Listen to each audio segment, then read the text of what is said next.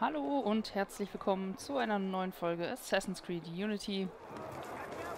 Ach Leute, ich habe gerade bestimmt 20 Minuten lang auf die Karte gestarrt, die einfach unheimlich voll ist mit allem möglichen, was wir machen können. Und trotzdem ist mir nichts eingefallen, was ich machen möchte gerade oder was ich als nächstes angehen möchte. Nach der Mission, die wir in der letzten Folge gemacht haben, die so unglaublich lange gedauert. Die Leute hier haben wieder spontan ihre Klamotten gewechselt gerade. Sofort zurück, du Dieb! Ich weiß nicht, schaut euch nochmal gerade die Frau mit dem braunen Kleid hier an. Als ich die gerade eben das erste Mal gesehen habe, hat die noch was anderes angehabt. Die Leute wechseln spontan ihre Klamotten auf der Straße. Ähm, ja, die Mission vom letzten Mal war äh, ein Teil der Hauptstory. Der Jakobiner Club. Und wir sollten ein Treffen belauschen durch ein kurioses Loch im Boden. Also es war, glaube ich, ein Hotel oder sowas. Und da war einfach mal ein riesiges Loch im Boden, was überhaupt keinen Sinn machte. Für mich persönlich. So. Ähm, ja, das überhaupt keinen Sinn machte. Und wir haben da dieses Treffen belauscht und irgendetwas über Elise rausgefunden. Die Mission hat sich unglaublich in die Länge gezogen. Hat unheimlich lang gedauert. Ich habe die Folge so übelst überzogen und hatte selber überhaupt keinen Nerv mehr. Und ich habe auch nachher in den Kommentaren dann ähm,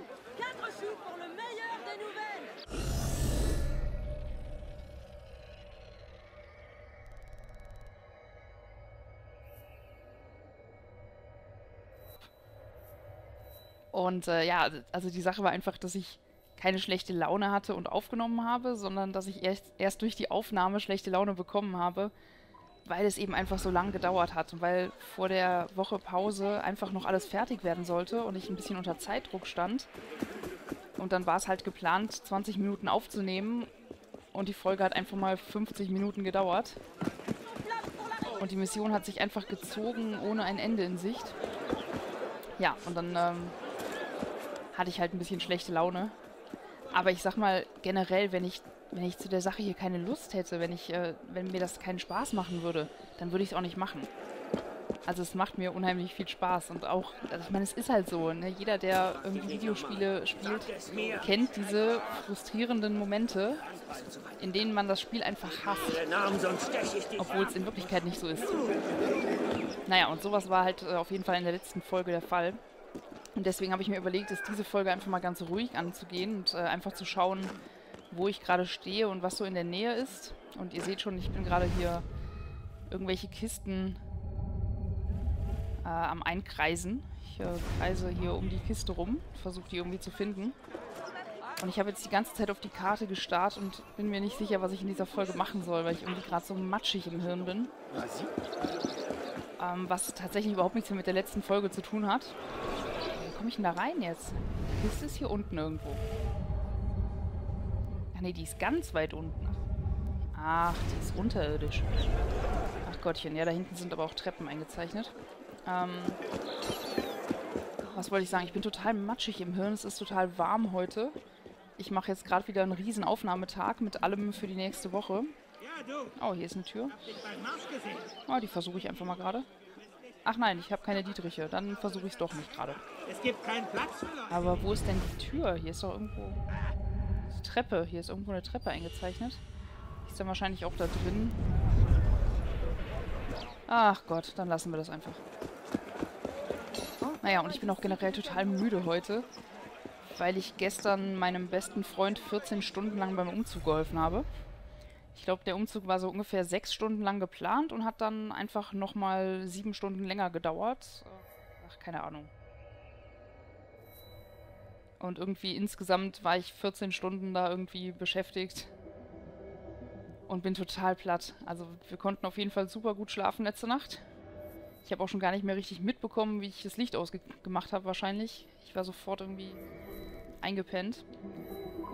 So, versuche ich mal die Kiste da.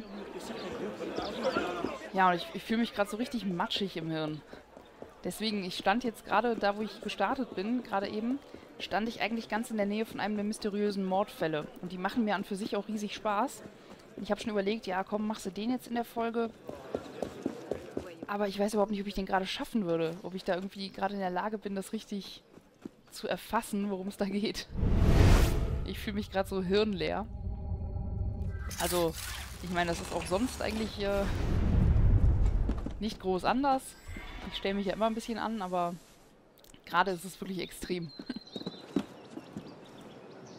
Und deswegen wollte ich heute eigentlich irgendwas Einfaches machen. Jetzt äh, habe ich 20 Minuten lang auf die Karte gestarrt und war mir nicht einig, was ich jetzt mache.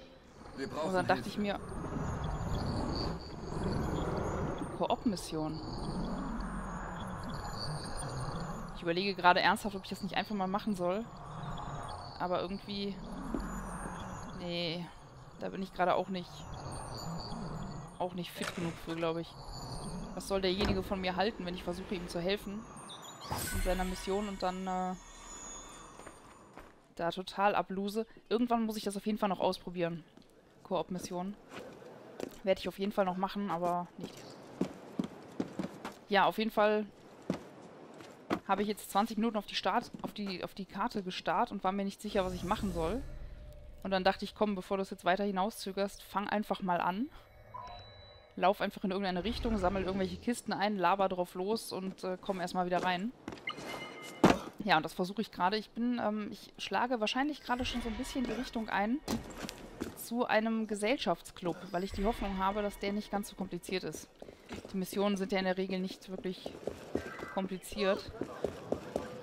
Weil ich hatte jetzt auch gerade keine ordentliche Pariser Geschichte in der Nähe oder so, die ich schnell hätte machen können. Hallo Extremisten. Also werde ich mich jetzt anhand der Kisten kurz zum nächsten äh, Gesellschaftsclub, glaube ich, vorarbeiten.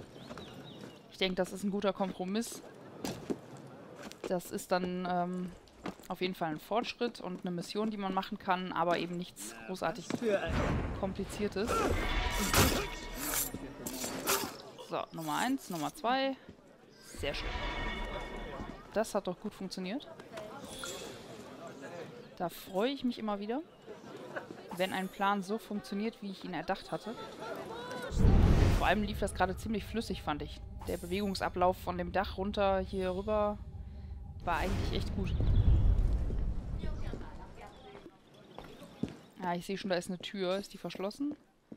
Ja, sicher. Und natürlich habe ich keine Dietriche bei. Nach wie vor nicht. Aber hier ist ein Händler am Ende der Straße. Den äh, werde ich mal gerade hinzuziehen und freundlich um Unterstützung bitten. Dann wird er mich wahrscheinlich freundlich um Geld bitten. Dort, Dietriche, ja, ja, komm, gib mir einfach mal alles, was du hast. Nee, alles, was ich tragen kann. So, haben wir wenigstens wieder ein paar Dietriche. Achso, komm, wenn wir gerade dabei sind. Wie sieht's denn mit unseren Phantomklingen habe ich. Berserkerklingen nehmen wir noch die eine mit. Dann haben wir die nämlich auch wieder. Muss ich mir da keine Gedanken machen. So.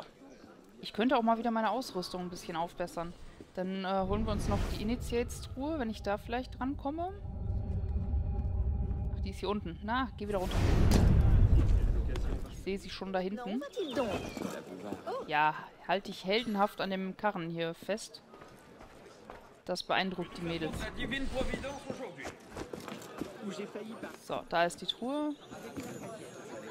Was gibt's hier Spannendes?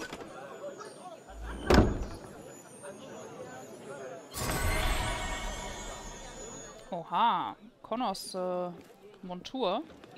Sehr schön. Connor war, glaube ich, aus Teil 3, der Indianer. Assassine. So, und hier haben wir schon den nächsten Gesellschaftsclub. Hier wollte ich hin.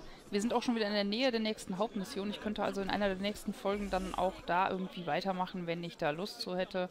Schauen wir mal. Aber jetzt erstmal die Renovierung des Café du Marais oder so. Marais, Marais, ich weiß es nicht. Wir renovieren es einfach mal.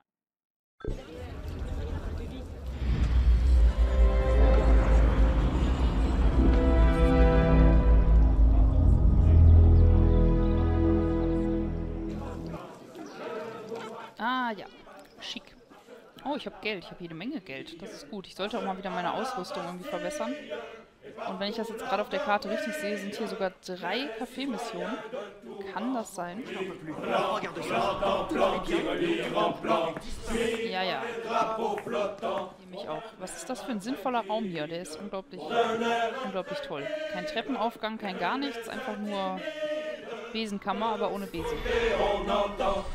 Haben wir hier eine Treppe? Ja, eine Treppe. So, und hier haben wir äh, ein Buch. Ach, das ist wieder das Clubprofil. Nee, ich will eigentlich nur Missionen, Missionen weiter oben. Missionen sind weiter oben. So, hier haben wir eine. Die Diebeskunst der Kunstdiebe. Schwierigkeit 1, das klingt sehr gut für meinen Zustand. Gerade Schwierigkeit 3. Ein dramatischer Abgang.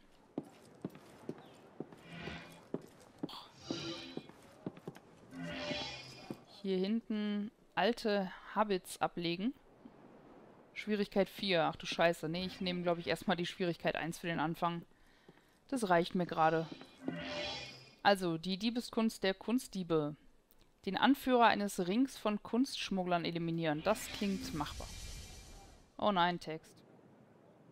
Alexandre Lenoir oder so versucht, die französische Kunst zu konservieren und ein Nationalmuseum im Palais du Louvre zu erschaffen. Leider zieht eine Bande Räuber durch die Marais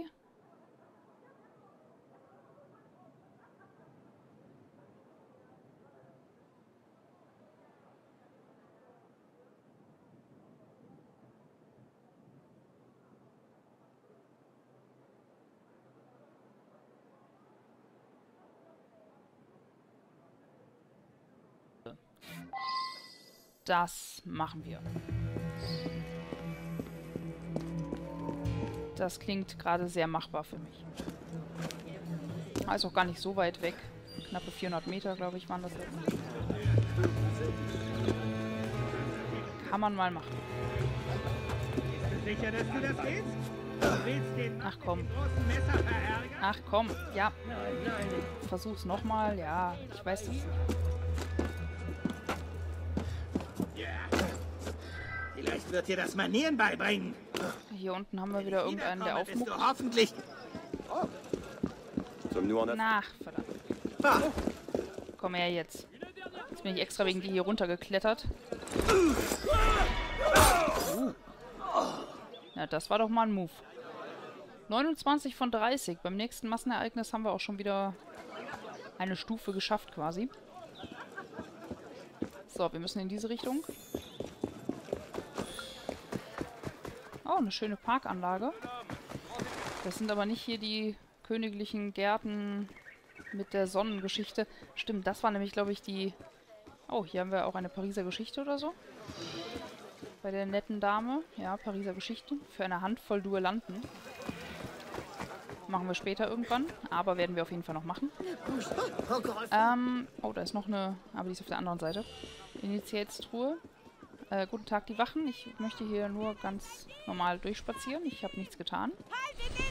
Ich bin schon fast etwas überrascht, dass... Äh, also da stehen vier Wachen und die Frau schreit sich hier die Seele aus dem Leib, haltet den Dieb, der da hinten irgendwie wegrennt und die reagieren mal null. Das sind unglaublich tolle Wachen. So, wo ist denn hier die Truhe? Bestimmt in dem Garten hier. Ja, da hinten.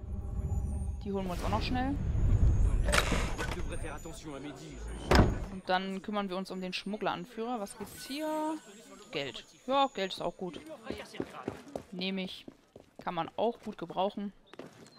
So, 214 Meter. Stiefeln wir mal wieder aufs Dach hoch.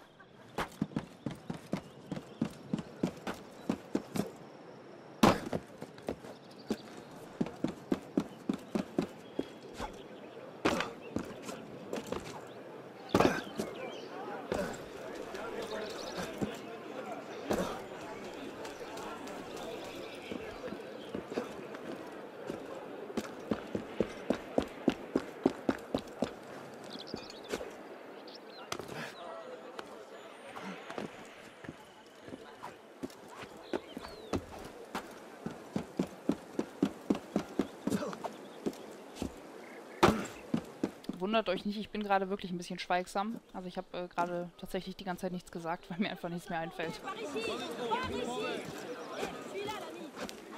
Ich bin irgendwie voll am Arsch heute. ich bin echt müde. Ach Gott, und dann ist das Wetter noch so warm und alles. Ach Mann. Aber es macht mir trotzdem Spaß. Ich habe Spaß. Ich muss es mir nur oft genug einreden. Nein, ich habe wirklich Spaß. ich spiele es ja gerne. Und ich rede auch so gerne mit euch. Mir fällt nur manchmal einfach nichts mehr ein. So, das sind äh, die Kollegen wahrscheinlich schon. Da oben steht auch irgendwo ein Schütze. Ach komm, das ist eine Stufe 1 Mission. Da laufe ich jetzt einfach mal rein. Da ist kein großer Aufwand gerechtfertigt, glaube ich. Die stellen sich doch alle gerade gar nicht so großartig an. Die lassen sich alle mehr oder weniger wehrlos töten. Das äh, wird eine ganz lockere Geschichte hier. Das ist so ein kleines Gemetzel für zwischendurch.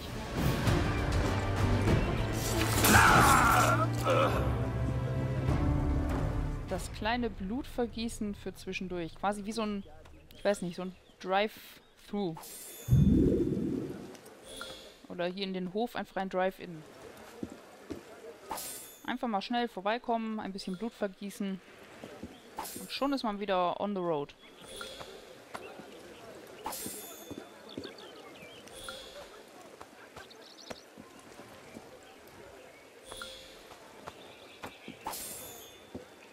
Mal eben die ganzen Kerle hier ausnehmen.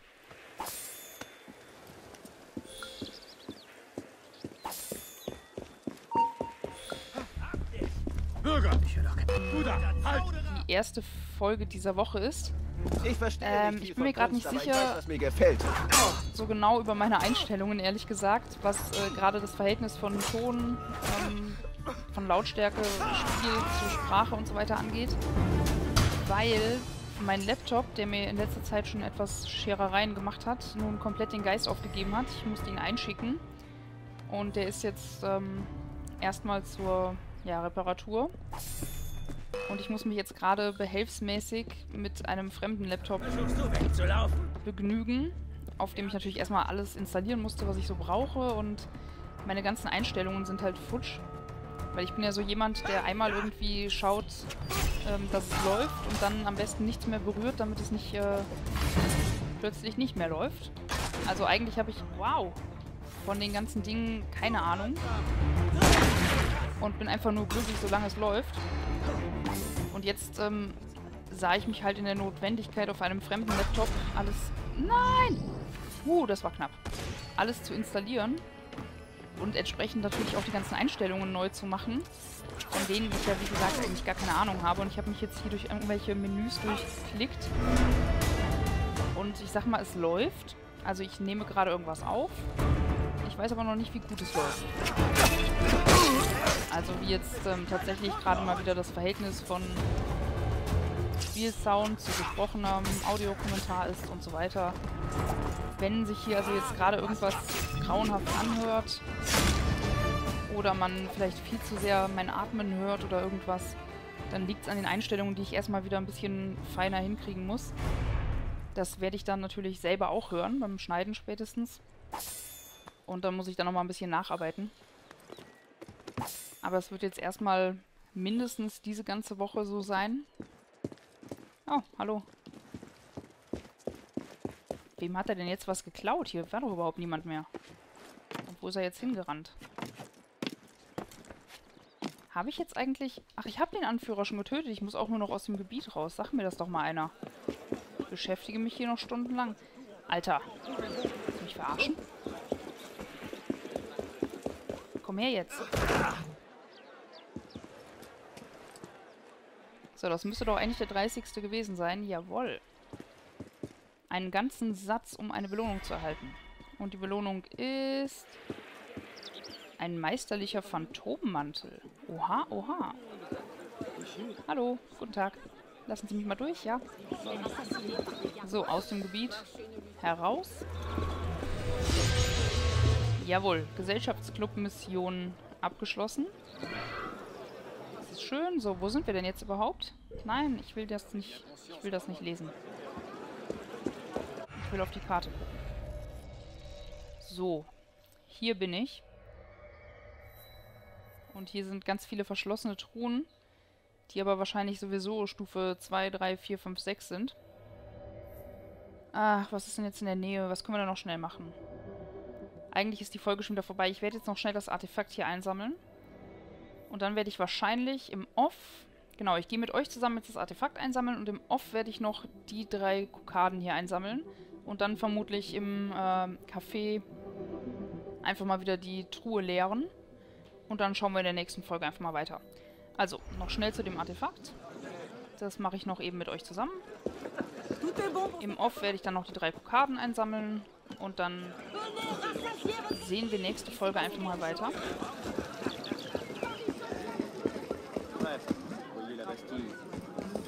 Wobei ich euch jetzt schon sagen kann, dass ich in der nächsten Folge nicht viel fitter sein werde als in der heutigen, weil ich die nämlich jetzt gleich direkt danach aufnehme. Das macht also überhaupt keinen Unterschied.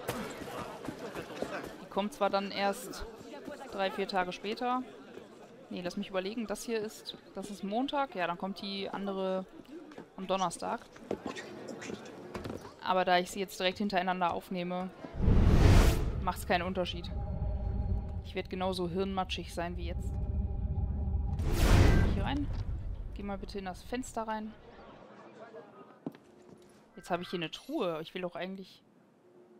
Achso, da unten ist auch das Artefakt. Ja, aber natürlich mal wieder keine... Was sind das für Räume?